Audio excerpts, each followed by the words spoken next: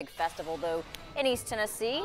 Takes us up the road to Sevierville. 43 barbecue teams from across the country are competing at the Barbecue and Bluegrass Festival. Tonight, teams competed in sausage, bean, and barbecue sauce categories. Tomorrow, they'll cook chicken, ribs, pork, and brisket for the grand champion competition. We've been doing the, the competition barbecue uh, 11 years now, and uh, we've been all over the country doing this, and it, it's just the relationships we built. Festival goers will also enjoy plenty of bluegrass music.